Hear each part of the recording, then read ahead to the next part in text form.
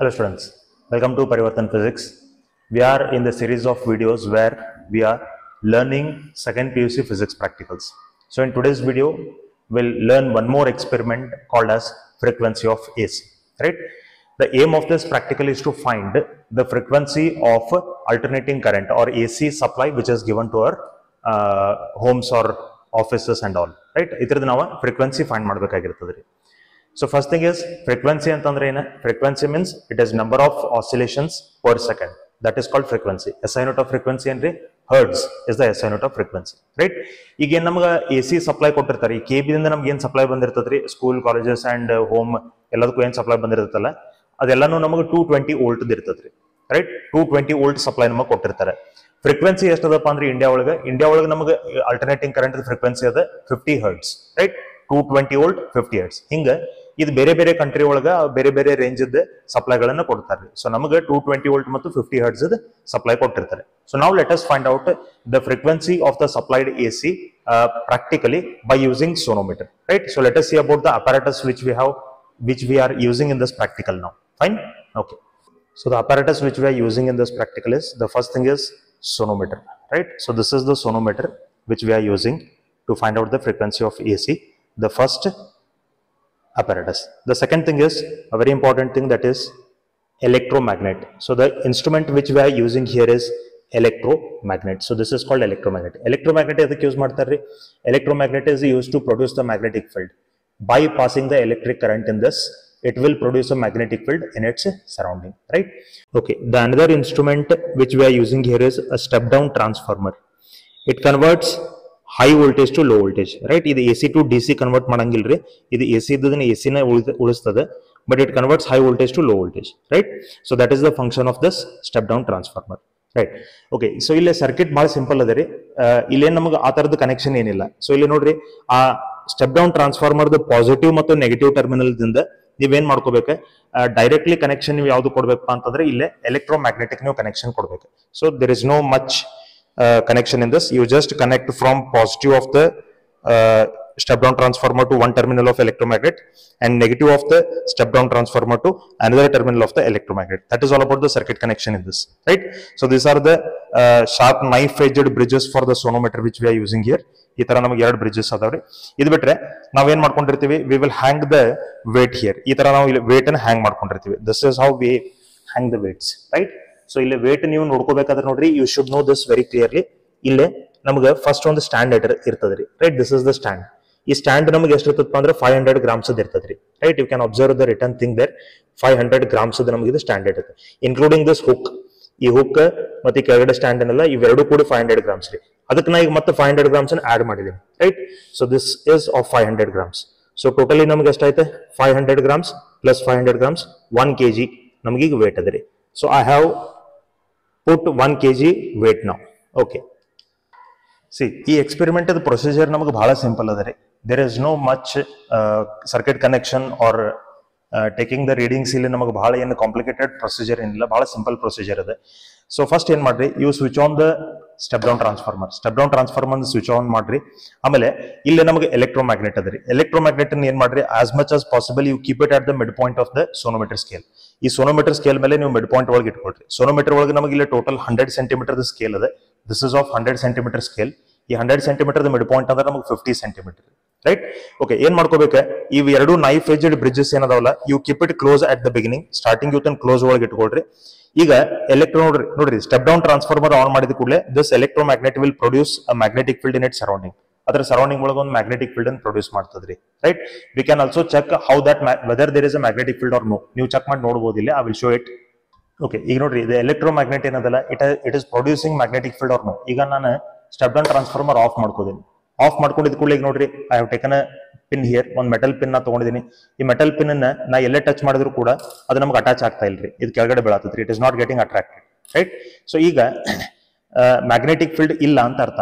There is no magnetic field so will switch on the step down transformer step down ಟ್ರಾನ್ಸ್ಫಾರ್ಮರ್ನ on ಮಾಡ್ಕೋತೀನಿ. On ಮಾಡ್ಕೊಂಡಿದ್ದ ಕೂಡಲೇ ನೋಡ್ರಿ whether this will get attracted towards that electromagnet or no okay ಇಲ್ಲೇ ನೋಡ್ರಿ. S ಈಗ ಅದು pin ನಮ್ಗೆ ಏನಾಗಿದೆ ಇಟ್ ಹಸ್ ಗಾಟ್ ಅಟ್ಯಾಚ್ಡ್ ಯಾಕಂತಂದ್ರೆ ಅಲ್ಲಿ ಮ್ಯಾಗ್ನೆಟಿಕ್ ಫೀಲ್ಡ್ ಪ್ರೊಡ್ಯೂಸ್ ಆಗಿದ್ರಿ ಸೊ ಇದು ನಮಗೆ ಈಗ ಮ್ಯಾಗ್ನೆಟ್ ತರ ಆಕ್ಟ್ ಮಾಡತೈತಿ. So it is getting attracted ಅದು ನಮಗೆ ಈಗ ಅಟ್ರಾಕ್ಟ್ ಆಗತ್ತೈತಿ ಕರೆಕ್ಟ್ ನೋಡ್ರಿ. Right so it is getting attracted ಅಂದ್ರೆ ಇಲ್ಲೇ magnetic field produce ಆಗಿದ್ರಿ this is how it works ನೀವು ಅದ್ರೊಳಗೆ ಕರೆಂಟ್ ಅನ್ನು ಪಾಸ್ ಮಾಡ್ರಿ ಅಲ್ಟರ್ನೇಟಿಂಗ್ ಕರೆಂಟ್ ಅನ್ನ it will produce the magnetic field okay will go for the next step of the practical ನಾವು okay this is the first trial first ಟ್ರಯಲ್ಗೆ ನಾವು weight ಎಷ್ಟು ಇಟ್ಕೊಂಡಿದೀವಪ್ಪ ಅಂದ್ರೆ ಒನ್ ಕೆ ಜಿ ನಾವು weight ಇಟ್ಕೊಂಡಿದೀವಿ. So ಈ one K G ವೇಟ್ಗೆ ನಾವು ರೆಸೋನೇಟಿಂಗ್ ಲೆಂತ್ ಅನ್ನು ತಗೋಬೇಕು. ಸೊ ನಾವು ರೆಸೋನೇಟಿಂಗ್ ಲೆಂತ್ ತಗೋಬೇಕಾದ್ರೆ ನೋಡ್ರಿ ಫಸ್ಟ್ ಇವೆರಡು ನೈಫ್ ಎಜೆಡ್ ಬ್ರಿಡ್ಜಸ್ ಏನಿರ್ತಾವಲ್ಲ ನೈಫ್ ಎಜೆಡ್ ಬ್ರಿಡ್ಜಸ್ ಎರಡು ಕೂಡ ನಮಗೀಗ ಎಲೆಕ್ಟ್ರೋಮ್ಯಾಗ್ನೆಟ್ ಎಲೆಕ್ಟ್ರೋಮ್ಯಾಗ್ನೆಟ್ ನಾನು ನಿಮ್ಗೆ ಕ್ಲಿಯರ್ಲಿ ಹೇಳಿದೀನಿ ಅಟ್ ಫಿಫ್ಟಿ ಸೆಂಟಿಮೀಟರ್ ಇಟ್ಕೋರ್ ಅಂತ ಎರಡು knife edged bridges ಏನದಾವ್ರಿ? They are very close to each other ನಾವು ನಾವ್ ಏನ್ ಅಬ್ಸರ್ವ್ ಮಾಡ್ಬೇಕಿಲ್ಲ ಮೇನ್ಲಿ ನಾವ್ ಏನ್ ಅಬ್ಸರ್ವ್ ಮಾಡ್ಬೇಕಪ್ಪ ಅಂತಂದ್ರೆ we have to increase the distance between these two bridges ಈ ಎರಡು ಬ್ರಿಡ್ಜಸ್ ನಡುವೆ ಡಿಸ್ಟೆನ್ಸ್ ನಾವಿಲ್ಲೇ ಹೆಚ್ಚ್ ಮಾಡ್ಕೋಬೇಕು. So we have to go on moving both the bridges like this ಇವ್ ಎರಡು ಬ್ರಿಡ್ಜಸ್ ಗಳನ್ನ ನೀವು ಈ ತರ ಸ್ಲೋಲಿ ಮೂವ್ಮೆಂಟ್ ಮಾಡ್ಕೊಂತ ಹೋಗ್ರಿ. ಈ ಮೂವ್ಮೆಂಟ್ ಮಾಡ್ಬೇಕಾದ್ರೆ ನೀವು ಏನ್ ಅಬ್ಸರ್ವ್ ಮಾಡ್ಬೇಕು? You have to observe the wire below that electromagnet ಆ ಎಲೆಕ್ಟ್ರೋಮ್ಯಾಗ್ನೆಟ್ ಕೆಳಗಡೆ ನೀವು ವೈರ್ನ ಅಬ್ಸರ್ವ್ ಮಾಡ್ರಿ, ಅದು ನಮಗೆ ವೈಬ್ರೇಟ್ ಆಗ್ಲಿಕ್ಕೆ ಶುರು ಆಗ್ತದೆ. ಸೊ ಎಲ್ಲಿವರೆಗೂ ನೀವು ಈ ಬ್ರಿಡ್ಜಸ್ ಗಳನ್ನ ಮೂವ್ಮೆಂಟ್ ಮಾಡ್ಬೇಕು ಅಂದ್ರೆ until that wire gets vibrated with high frequency high amplitude ಮತ್ತು ಹೈ ಫ್ರೀಕ್ವೆನ್ಸಿದಿಂದ ಅದು ಎಲ್ಲಿ ತನಕ ವೈಬ್ರೇಟ್ ಆಗಂಗಿಲ್ಲ. ಅಲ್ಲಿ ತನಕ ನೀವು ಇದನ್ನ ಸ್ಲೋಲಿ ಮೂವ್ಮೆಂಟ್ ಮಾಡ್ಕೊಂತ ಹೋಗ್ರಿ. ಓಕೆ ಒಂದೊಂದು ಸೆಂಟಿಮೀಟರ್ ಮೂವ್ಮೆಂಟ್ ಮಾಡ್ಕೊಂತ ಹೋದ್ರೆ ನಡೀತದ್ರಿ. ರೈಟ್ ಈ ತರ ನೀವು ಅದ್ರ ನಡುವಿನ ಡಿಸ್ಟೆನ್ಸ್ ಜಾಸ್ತಿ ಮಾಡ್ಕೊಂತ ಹೋಗ್ರಿ. It will start vibrating at some point I will show you that how it vibrates ಆಮೇಲೆ ನಾವು ಅದನ್ನ ರೀಡಿಂಗ್ ಯಾವ ತರ ತಗೋಬೇಕು ಅದನ್ನು ನಾನು ಈಗ ತೋರಿಸ್ತೀನಿ clear Okay, now you can just check how the wire will vibrate as we go on increasing the length, right?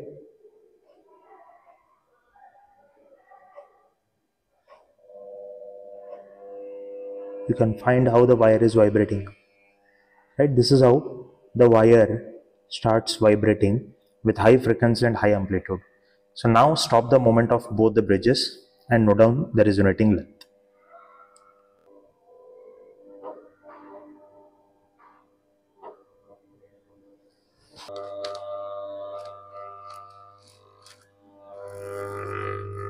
Okay, now we'll see how to note down the resonating length. You just note down the positions of both the way bridge, weighing, uh, knife edged bridges here. So ಇಲ್ಲಿ ನೀವು ನೋಡ್ಬೋದ್ರಿ knife edged bridges ನಮ್ bridge ನಮಗೆ ಇಲ್ಲಿ ಯಾವ position ಕದಪ್ಪ ಅಂದ್ರೆ twenty seven point five Kadri. This is the first bridge in second bridge ನೋಡ್ರಿ. Second bridge is here let us note down the location of that second bridge it is at seventy six centimeter right so ನಿಮಗೆ ಈಗ resonating length ಬೇಕಾದ್ರೆ ನೀವೇನ್ ಮಾಡ್ಬೇಕಪ್ಪ ಅಂತಂದ್ರೆ ಇವೆರಡು readings minus ಮಾಡ್ಕೋಬೇಕು. So will get it as forty eight point five centimeter right this is the first trial in second trial ಏನ್ ಮಾಡ್ಬೇಕು? You have to increase the weight by 500 grams or 1 kg, right? Okay, for the next trial, you add 500 grams more to the weight. This is how we have to add the 500 grams weight to that, right? So after adding 500 grams weight, we have to again find the resonating length. Okay ಈಗ second ಟ್ರಯಲ್ಗೆ ನಾವು ಮತ್ತೆ five hundred grams ವೇಟನ್ನು add ಮಾಡ್ಕೊಂಡ್ವಿ ಈಗೇನು ಮಾಡ್ರಿ ಮತ್ತೆ ಇವು knife edged bridges ಏನದಾವಲ್ಲ you take them close and then ಇಲ್ಲಿಂದ ಮೂವ್ಮೆಂಟ್ ಮಾಡ್ಲಿಕ್ಕೆ ಸ್ಟಾರ್ಟ್ ಮಾಡ್ರಿ ಪ್ರತಿ ಟ್ರಯಲ್ಗೂ ನೀವು you start moving from here only right so ಈಗ ನಾವು you go on separating the knife edged bridges slowly ಅಂದ್ರೆ ಸಾವಕಾಶ ನೀವು ಅದನ್ನ ಮೂಮೆಂಟ್ ಮಾಡ್ಕೊಂತ ಹೋಗ್ರಿ. You will get to know at some point the wire starts vibrating right ಎಲ್ಲೋ ಒಂದ್ ಕಡೆ ನಮಗೆ ವೈಬ್ರೇಟ್ ಆಗ್ಲಿಕ್ಕೆ ಶುರು ಆಗ್ತದೆ. ಸೊ ನೀವು ಇದು ವೈಬ್ರೇಟ್ ಆಗಕ್ಕೆ ಶುರು ಆಗಬೇಕಾದ್ರೆ ಏನ್ ಮಾಡ್ರಿ? ಯಾವಾಗ ವೈಬ್ರೇಟ್ ಆಗ್ಲಿಕ್ಕೆ ಶುರು ಆಗ್ತದಲ್ಲ, ಅಲ್ಲಿಗೆ ಬಂದ ಕೂಡಲೇ ಮತ್ತಷ್ಟು ಸ್ಲೋ ಮಾಡ್ರಿ. You can observe the ವೈಬ್ರೇ the vibration has started ನಾವು ಸ್ಲೋ ಆಗಿ ಸ್ಟಾರ್ಟ್ ಆಗಿದ್ರಿ. ಈ ವೈಬ್ರೇಷನ್ ಸ್ಲೋ ಆಗಿ ಸ್ಟಾರ್ಟ್ ಆಗಿದ್ಮೇಲೆ ಅಗದಿ ಸ್ಲೋ ಮೂವ್ಮೆಂಟ್ ಮಾಡ್ರಿ. ಸೊ ನಾವು slowly movement ಮಾಡಿದಂಗೆ at some point the wire will vibrate with high amplitude and high frequency at that point you stop the motion of the knife edged bridges right ಅದನ್ನ stop ಮಾಡಿಬಿಡ್ರಿ. ಅದಕ್ಕಿಂತ ನೀವು ಜಾಸ್ತಿ length ತೊಗೊಂಡ್ರು ಕೂಡ ಅದ್ರದ್ದು amplitude ಕಡಿಮೆ ಆಗ್ತದೆ. ಅದಕ್ಕಿಂತ ಕಡಿಮೆ ಲೆಂತ್ ತೊಗೊಂಡ್ರು ಕೂಡ ಆಂಪ್ಲಿಟ್ಯೂಡ್ ಕಡಿಮೆ ಆಗ್ತದ್ರಿ. ಸೊ ಯಾವುದೋ ಒಂದು ಪಾಯಿಂಟ್ಗೆ ಮಾತ್ರ at one length the amplitude and frequency of the vibration of the wire will be maximum right? Right it is maximum ನಾವು ಸೊ ಈ ಥರ ನಿಮ್ಗೆ ಸೌಂಡು ಕೇಳಿಸ್ತದ್ರಿ ಮ್ಯಾಕ್ಸಿಮಮ್ ವೈಬ್ರೇಷನ್ಗೆ ಅಲ್ಲಿಗೆ ವೈಬ್ರೇಷನ್ ಆಗಿದ್ಮೇಲೆ ಸ್ವಿಚ್ ಆಫ್ ಮಾಡ್ರಿ, ಆಮೇಲೆ ನೀವು ರೆಸ್ಯುನೇಟಿಂಗ್ ಲೆಂತ್ ಅಂತ ತಗೋರಿ ರೈಟ್ ಓಕೆ ನಾವು let us see how much is the resonating length resonating length ತಗೋಬೇಕಾದ್ರೆ ನೋಡ್ರಿ what we have to do we have to observe the positions of both the knife ಎಜರ್ bridges so ಈಗ ಇದ್ರದ್ದು position ನೋಡ್ರಿ ಎಷ್ಟದ? How much is the position of this right ಇದರದ್ದು position ನಮಗದ it is twenty scale ಮೇಲೆ twenty ಅಂತ ಹೇಳಿದ್ರಿ right ಇದು first knife ಎಜರ್ ಬ್ರಿಡ್ಜ್ ರೀ. ಸೆಕೆಂಡ್ ನೈಫ್ ಎಜರ್ ಬ್ರಿಡ್ಜ್ ಪೊಸಿಷನ್ ಏನದ ನೋಡ್ರಿ? It is seventy nine right ಇದೇನು ನಮಗೆ ಬ್ಲೇಡ್ ಟೈಪ್ ಅದಲ್ಲ, ಅದರದ್ದು ಎಕ್ಸಾಕ್ಟ್ ಒಂದು ಲೈನ್ ಇರ್ತದ್ರಿ ಇದ್ರ ಮೇಲೆ. ಆ ಲೈನ್ ನಮಗೆ ಒಂದ್ ಸೈಡ್ ಆಗೈತ್ರಿ ಸೆವೆಂಟಿ ನೈನ್ ಅಂತೇಳಿ ರೈಟ್ ಸೊ ಸೆವೆಂಟಿ ನೈನ್ ಅಲ್ಲಿ ನಾವು ಟ್ವೆಂಟಿ ಮೈನಸ್ ಮಾಡ್ಕೋಬೇಕು. So we have to minus twenty so the resonating length will be fifty nine seventy nine minus twenty ಅಂದ್ರೆ ಫಿಫ್ಟಿ ನೈನ್ ಆಗ್ತದೆ ಇದು ಸೆಕೆಂಡ್ ಟ್ರಯಲ್ಗೆ ನಮಗೆ ಎಷ್ಟು ಬಂತಪ್ಪ ಅಂತಂದ್ರೆ ಫಿಫ್ಟಿ ನೈನ್ ನಮಗೆ ರಿಸೋನೇಟಿಂಗ್ ಲೆಂತ್ ಬಂತು. Clear okay will go for the next trial so for next trial we again add five hundred grams to that ಈಗ ನಮಗೆ ಟೋಟಲ್ ಎಷ್ಟು ಮಾಸ್ ಇತ್ತು ನೋಡ್ರಿ? ಫಾರ್ ಫಸ್ಟ್ ಟ್ರಯಲ್ ನಮಗೆ ಒನ್ ಕೆ ಜಿ ಇತ್ತು ಇದು ಫೈವ್ ಹಂಡ್ರೆಡ್ ಗ್ರಾಮ್ಸ್ ಇದು five hundred grams ಇದು ಒನ್ ಕೆ ಜಿ ಇತ್ತು ಸೆಕೆಂಡ್ ಟ್ರಯಲ್ ನಾವು ಏನ್ ಮಾಡ್ಕೊಂಡ್ವಿ? One point five K G ತಗೊಂಡ್ವಿ. Five hundred plus five hundred plus five hundred one point five K G for third trial we are adding five hundred grams more to that so ಈಗ weight ನಮಗೆ ಎಷ್ಟಾಯ್ತು ನೋಡ್ರಿ?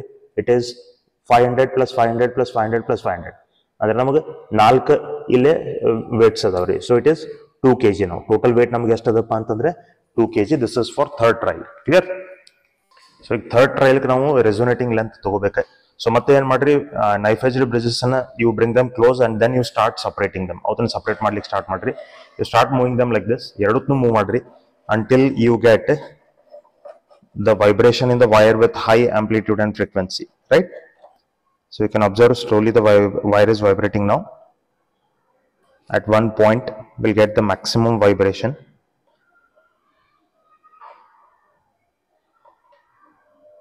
Okay, now it is vibrating with maximum amplitude and frequency, right? So now you have to observe the, you have to take the resonating length. So ಇದು vibration ಬಂದ್ಮೇಲೆ switch off ಮಾಡ್ರಿ ಆಮೇಲೆ ನೀವು resonating length ಅಂತ ತಗೊಳ್ರಿ okay you just check the positions ನಾವು positions ನೋಡ್ಕೊಡ್ರಿ so what is the position of this ಈಗ ಪೊಸಿಷನ್ ನಮ್ಗೆ ಎಷ್ಟದಪ್ಪ ಅಂದ್ರೆ first ಅದ್ರಿದೆ it is sixteen point five correct sixteen point five second bridge ನೋಡ್ರಿ ಎಷ್ಟದೆ ಸೆಕೆಂಡ್ ಬ್ರಿಡ್ಜ್ ಇದೆ ನಮಗೆ it is eighty seven right so ಈಗ ರಿಸೊನೇಟಿಂಗ್ ಲೆಂತ್ ನಮ್ಗೆ ಇರ್ತದೆ ಸೆವೆಂಟಿ ಪಾಯಿಂಟ್ ಫೈವ್ ಅಂತ so the resonating length is seventy point five note resonating length now. Clear?